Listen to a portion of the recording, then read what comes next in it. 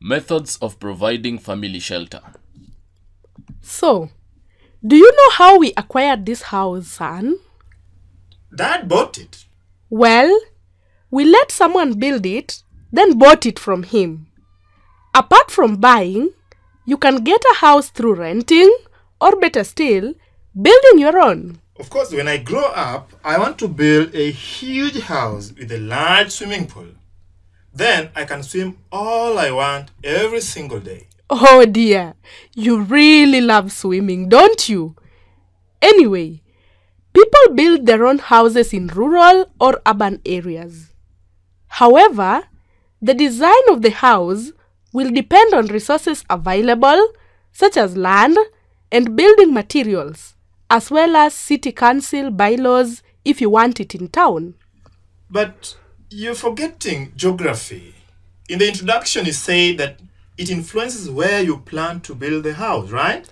I was coming to that. And yes, geographical factors such as soil type and drainage should be considered when choosing a site for a house.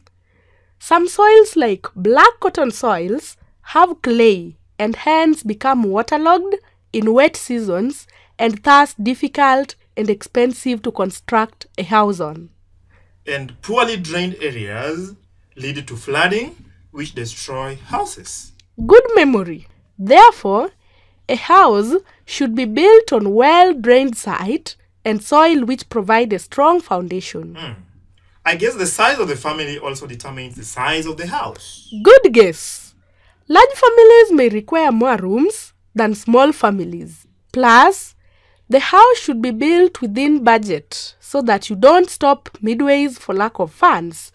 You will have to sit down with the architect and work out the cost of land, raw materials, legal fees, labor, and so on.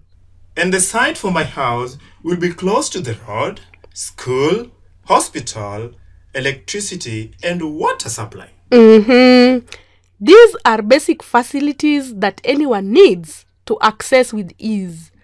Also, a good site should be secure and away from factories and airports. So, when all have been considered, you bring in the building materials, right?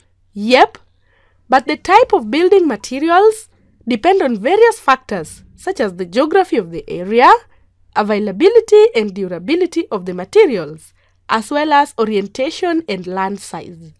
Please explain. Okay. Take, for instance, houses down at the coast. Most of them are made of makuti or materials from coconut trees, considering the area is hot and humid. Mm. In very cold areas like the slopes of Mount Kenya, building materials that allow warmth in the house should be used. And in addition, you must consider the position of the house in relation to the direction of sunlight and wind. Sorry, I don't get the connection between wind direction and type of materials. All right. The position of the house should be in a way that the front side faces away from the direction of strong wind and direct sunlight. Plus, it should take best advantage of the natural view. Does that make sense now? A little. Research further on on your own. You'll get it. Moving on, when choosing materials, consider how long you want to use the house. Modern houses are built to last a long time, thus, materials should be very durable. Traditional huts and manyattas, on the other hand, are temporary. Plus, some materials are easily available in certain areas, making them cheap to use. Like brick making in Eastern Province. No wonder there are a lot of brick houses in that region. I think I should buy land and build a house there someday.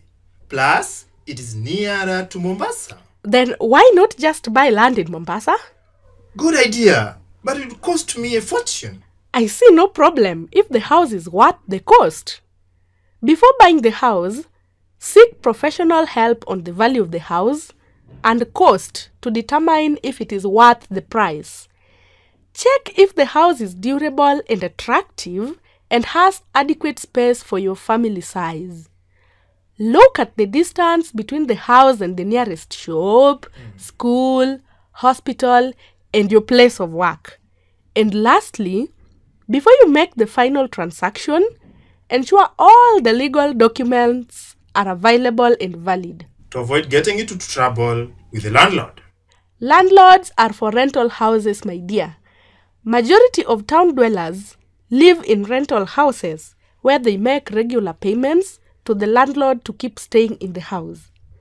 In this case, choose a house in which you can afford to pay the rent, accommodate all members of the family, mm-hmm. and access workplace, school, and hospital with ease. The neighborhood should have proper security too. Hmm. It's alright, but for me, building my own house is my future dream. I agree with you, my boy. Now, before you go clean your room, uh, do what is necessary. Okay. Ways of providing shelter for the family include building, buying, or renting. People build houses on land bought and design them depending on the available resources. And when providing shelter for the family, one should consider the cost, family size, accessibility to social amenities in the neighborhood. Good boy. Now go and make your room.